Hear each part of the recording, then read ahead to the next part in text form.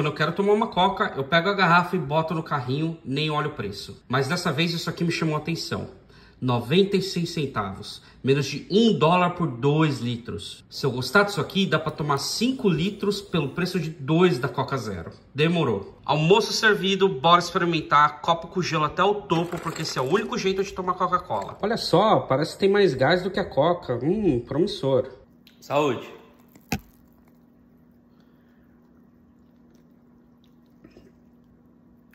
Uma bosta. Zoeira, até que é gostosinho. Vale a pena sim.